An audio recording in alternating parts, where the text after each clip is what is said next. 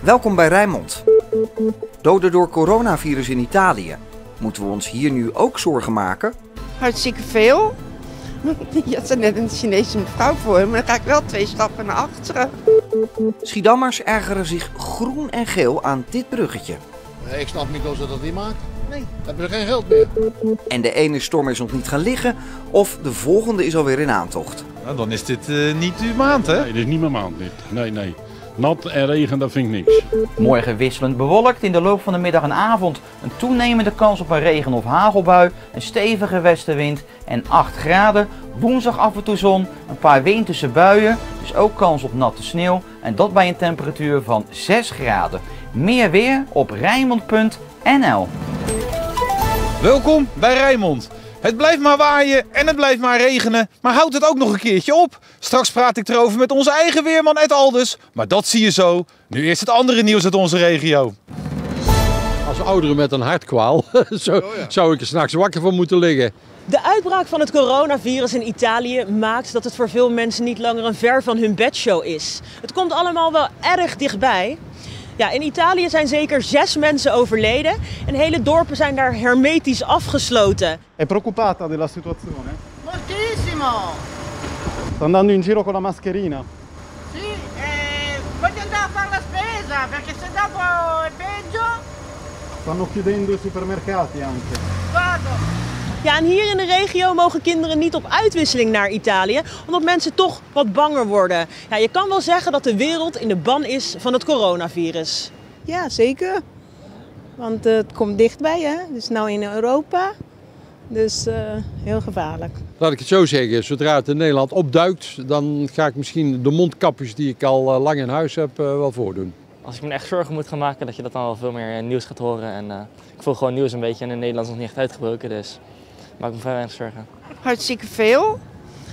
Je had er net een Chinese mevrouw voor me, maar dan ga ik wel twee stappen naar achteren. Je gaat twee stappen naar achter. Ja, je weet maar nooit. Ik maak me er wel heel veel zorgen om. Ik ben ook boven de 70, dus eh, Nu zijn niet alle Chinese mensen dragers natuurlijk. nee, zou wat moois zijn. Het zou ook gewoon veel hoeveel miljard zijn. Hè? maar ik maak me eigen zorgen, dat was je vraag. Is het terecht dat mensen zich nu meer zorgen maken? Eh, ja, eh, dat is een goede vraag. In die zin, het komt natuurlijk letterlijk dichterbij. Het voelt dichterbij als het in Italië is dan eh, als het in China is. Maar ik denk dat we ons nog steeds moeten realiseren dat het toch een vrij kleine kans is om eh, besmet te raken als je bijvoorbeeld op vakantie bent geweest in Italië of iets dergelijks. Ik maak me niet geen zorgen. Ik ben geboren om dood te gaan. Hoe, weet ik niet. Ik ga toch dood. Maar ik maak geen zorgen daarover. Als wij het gewoon niet aan zouden zetten, zouden hier de mensen hier achter die hier in, de- in het gebied wonen met natte voeten lopen. En nog gekker. Het gemaal van Kinderdijk draait op volle toeren om al het regenwater van de afgelopen dagen weg te werken. Nou, hier zie je de vijzel. Dan zie je, ja, de, de- er zitten drie rijen schoep op. En elke schoep neemt een hap zo mee. En nou van alle drie de vijzels draaien we zo ongeveer 15 of 13, 1400 kub per minuut naar de rivier toe. We hebben de afgelopen dagen natuurlijk heel, heel veel neerslag gehad. Hoop wind, en dan moeten we ook wel erg mee houden. Dan wordt de rivier hoger.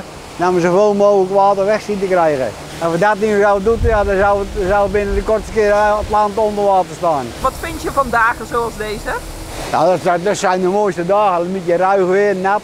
Dat is het mooiste. Dat, en dan eh, ma- malen. Dan weet je waar je het voor doet. Als je het Franciscus Vlietland in Schiedam bezoekt, moet je eerst je hachje zien te redden op een onoverzichtelijk knooppuntje van wegen, fietspaden, voetpaden en een brug.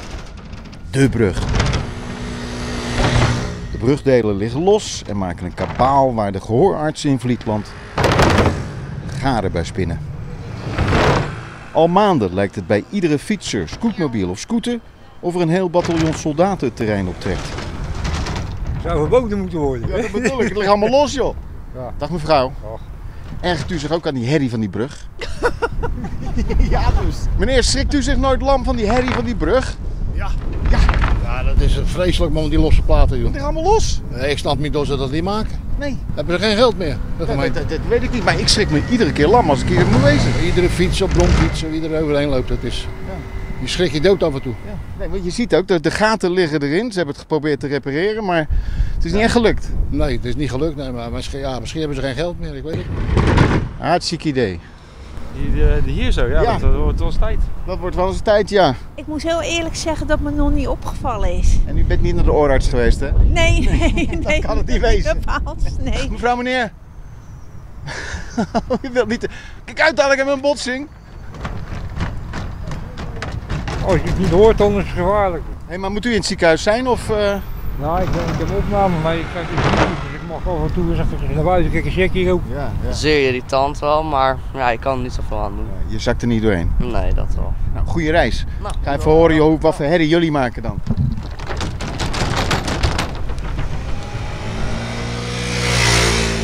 Hoor eens even. Ja, dat vind ik wel erg. Ja, het, is, het is irritant, maar wij, eh, wij wonen er niet bij, dus Nee. dat is een voordeel. Ik vind het best ook, die brug is allemaal een rotbrug geweest, maar als ik maar niet instort. De gemeente Schiedam laat weten de planken spoedig weer vast te zetten. Naar een permanente oplossing wordt nog gezocht. Als ik het goed gehoord heb althans. Twee weken nadat publiekstrekker Tjurendi Martina officieel zijn Nederlands record kwijtraakte op de 60 meter sprint, kreeg de atleet van Rotterdam Atletiek op het Nederlands kampioenschap in Apeldoorn de kans om zijn record direct weer terug te pakken.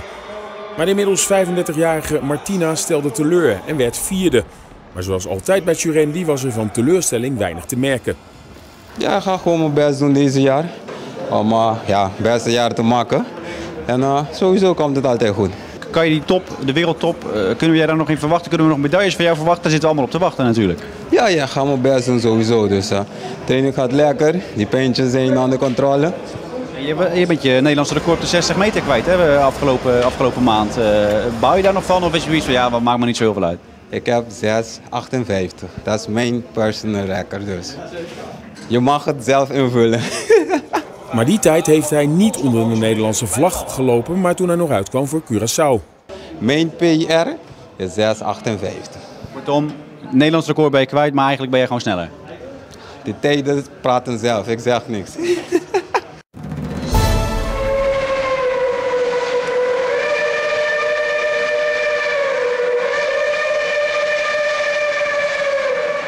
Alsof de stad Rotterdam huilde. In 1993 gaat de allerlaatste trein over de Maasbruggen. De treinverbinding tussen Brabant en Rotterdam was op dat moment tijdens de opening in 1877 uniek in Europa. Vandaag de dag rijdt de trein onder de grond en zijn alle brugdelen gesloopt.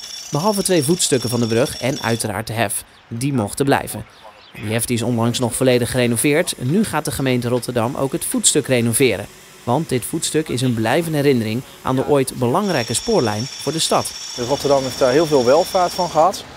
Uh, het was natuurlijk vroeger verbonden met, de, met de hef die erachter ligt en ook met station Maas. Uh, ook in de Tweede Wereldoorlog uh, uh, was dit het punt waar de Duitsers het eerste Rotterdam hebben bezet. En ook dat is hier nog goed te zien door de kogelgaten. Zie je ze hier zitten? Ja, de zoute lucht uit de omgeving heeft de stenen niet goed gedaan. Door het uitzetten van zoutkristallen en staal dat roest, springen de stenen nu letterlijk uit elkaar. Dan gaan we natuurlijk ook dit soort krammen eruit halen. Vervangen voor roest staal, zodat je niet meer dit soort schades uh, uh, zult, uh, zult krijgen. Aan de overkant van de rivier staat nog zo'n voetstuk. Het is niet bekend wanneer deze wordt gerenoveerd.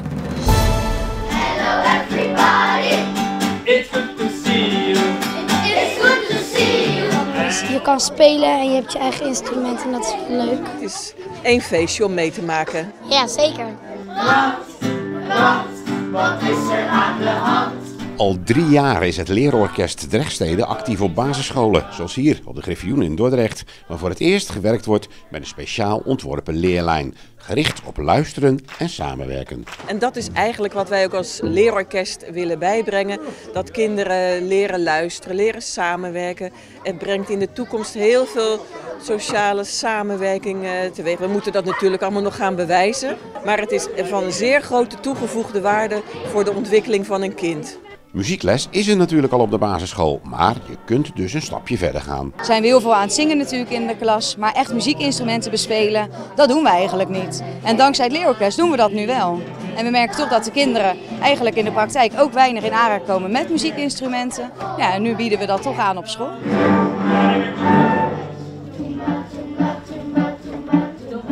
Waarom vind je het zo leuk? Omdat je ehm, muziek mag spelen ehm, tijdens, zeg maar, tijdens school. En dat mag meestal niet bij andere scholen. Dus je zit gelukkig op de goede school. Ja, zeker. Zou je later muzikant willen worden? Daar heb ik nog niet over nagedacht. Maar daar zit ik wel over na te denken. Ja, ik vind het wel leuk, want je mag, ehm, je mag het spelen, je kan allemaal leuke dingen doen. Je kan ook dingen vragen en je mag leuke dingen doen, dus dat is best wel leuk.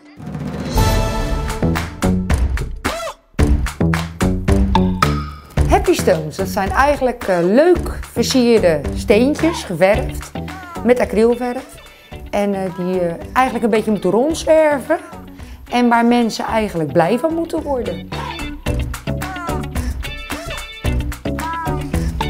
Ik was op vakantie en daar liep ik mijn eerste Happy Stone tegen het lijf. Die stond bij een paaltje. Het was regenachtig, druilerig weer, zoals vandaag bijvoorbeeld. En dan ben je aan het wandelen en dan loop je ineens een hele leuke, grappige steen tegen het lijf. Dan word je gewoon helemaal blij. Ik denk dat ik inmiddels nu zo'n 200 stenen heb geverfd. En eh, die zijn een beetje aan het zwerven. Maar ze moeten op reis gaan, dat is het idee. Ze, mo- ze moeten eigenlijk op reis gaan. Want hoe leuk is het niet dat je een steentje hebt gemaakt en dat je ineens een berichtje krijgt op je Facebookpagina. En het is bijvoorbeeld gevonden in Groningen. Of misschien wel de landsgrens over. Dat is toch leuk? Kijk, en hoe mooi is niet bijvoorbeeld eh, iemand die, eh, die gaat lekker wandelen om zijn hoofd leeg te maken omdat hij wat zorgen heeft. En dan gaat op een bankje zitten bijvoorbeeld. En dan vindt ineens zo'n steentje en, het, en ik tover een glimlach bij iemand op zijn gezicht. Nou, dat is toch helemaal happy. Echt een positieve beweging. Ja, vind ik wel. Kunnen we wel gebruiken in deze tijd, toch? We kunnen wel een Rijnmondsteentje maken, toch? Ja, gaan we zeker doen. Ik weet alleen niet of het me lukt met dat, met dat logo. Maar wil jij het zelf niet proberen? Ik eh, zal het even proberen. Dat is goed. Hier is de Happy Stone. Nou, ben benieuwd waar deze terecht gaat komen. Het blijft maar waaien en het blijft maar regenen, maar hoe kan dat nou eigenlijk en hoe lang gaat dat nog door? Ik praat erover met onze eigen weerman, Ed Alders. Nou Ed, wat is dit nou de hele tijd voor een weer? Ja, gewoon rot weer natuurlijk. Toch? We worden er niet vrolijk van in ieder geval. Nee, afgelopen weekend was het weer raak. Hoeveelste storm was dat nou? Nou, dit jaar de vierde storm. Dit is toch haast niet te doen meer? Nee, inderdaad niet. Nou, dan is dit eh, niet uw maand, hè? Nee, dit is niet mijn maand. Dit. Nee, nee. Nat en regen, dat vind ik niks. eh. Is het heel bijzonder dit weer? Nee, het is zeker niet bijzonder. Er zijn jaren voor gekomen dat het natuurlijk ook wel eens ruig weer is geweest voor een aantal weken achter elkaar. Je moet niet vergeten dat je afgelopen decembermaand hebben we heel rustig weer gehad. En ook januari was een relatief rustige maand. Maar ja, deze maand die pakt dus heel anders uit. Echt een ruige maand is het. We waaien allemaal uit ons hempie ondertussen, hè? ja, ja, het begint een beetje vervelend te worden. Ik hoor steeds meer mensen klagen ook. Ja, dat heeft alles te maken met de straalstroom. Dat is een kolkende rivier op zo'n 10 kilometer hoogte. Vanaf Newfoundland zeg maar naar West-Europa. En in die straalstroom ontstaan actieve depressies. En die zorgen momenteel voor het slechte weer. Die wind is toch vreselijk, hè? Al vier stormen in korte tijd achter elkaar. Ja, ze krijgen ook steeds gekke namen daarbij. Waar komt dat in godsnaam vandaan? Het KNMI werkt tegenwoordig samen met eh, de meteorologische diensten in Ierland en Engeland. En eh, dus die drie landen bij elkaar. En dat, dat betekent zodra er een storm eh, komt, met in ieder geval wel eh, code oranje daarbij ook. Ja, dan wordt er een naam gegeven aan zo'n storm. En dat is om de mensen bewuster te maken van het gevaar. Ja, en, en als bijvoorbeeld een storm Piet wordt genoemd, maar waarom heet hij dan Piet en niet Paul? Nou, dat wordt van tevoren vastgesteld. Die, naam, die namen zijn elk seizoen dan al bekend, zeg maar. Dus eh, toevallig zit Piet er wel in, maar of het zover komt, dat weten we niet. Het begint nou ook weer te regenen en weer een beetje te waaien. Houdt dit nog lang aan? Ja, zeker tot begin maart eh, hebben we te maken met wisselvallig weer. En temperaturen die ook weer even wat dichter naar normaal toe gaan. Dat is wel weer bijzonder. En de kans op winterse buien. Dus zelfs wat natte sneeuw is de komende tijd niet uitgesloten. Dus het blijft gewoon eigenlijk ruk. Het blijft gewoon heel slecht weer. En eh, van lenteweer is voorlopig absoluut geen sprake. Maar het kan in maart zomaar omslaan. Want maart roet wel eens ze... Staart. Heel slecht dit zeg. Dit was het belangrijkste nieuws van vandaag. Je kan nu kijken naar FC Rijnmond met daarin een special over Jorginho Wijnaldum. En ik zie je volgende keer weer. Tot ziens. Voor meer verhalen en nieuws uit de regio, kijk op Rijnmond.nl of in de Rijnmond app.